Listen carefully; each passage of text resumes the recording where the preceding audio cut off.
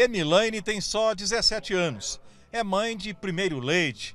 O bebê dela nasceu de seis meses, está na UTI do materno infantil desde domingo, quando nasceu. Como ele mama bem pouquinho, porque ele não pode, então eu prefiro doar para não ser um leite desperdiçado.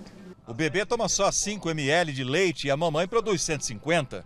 A média das doadoras. E às vezes até mais. Tem mãe que chega aqui e tira 400 ml de leite. O excedente de cada mãe vai para o banco de leite do hospital, que atende até 150 crianças por mês. Nós temos aqui uma UTI neonatal, né? e muitas vezes também nós temos outros clientes aqui dentro que têm essa necessidade permanente. Nos bons tempos, coisa de uns oito meses atrás, o banco de leite do materno infantil chegava a receber 400 litros por mês. Agora a doação está reduzida a 130 litros.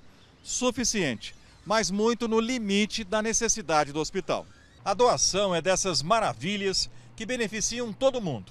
O bebê que vai se alimentar, a mãe que não deu leite e a mãe doadora. A mãe precisa mesmo vir ao banco de leite quando o bebê é prematuro, porque o bebezinho não está sugando o peito e ela precisa de vir colocar na bomba, que é para ela estimular e manter essa produção láctea. Quando o bebê for liberado para o peito, aí a mãe está com uma boa produção de leite para o bebê. Emilaine sabe que vai ter leite para o seu Miguel Henrique no período da incubadora e depois dele também. E vai alimentar muitos outros bebês. Tem umas mães que não doam porque acha que tem que ser só pro nenê dela, né? E não pensa nos outros neném, mas a gente tem que pensar no da gente e no dos outros.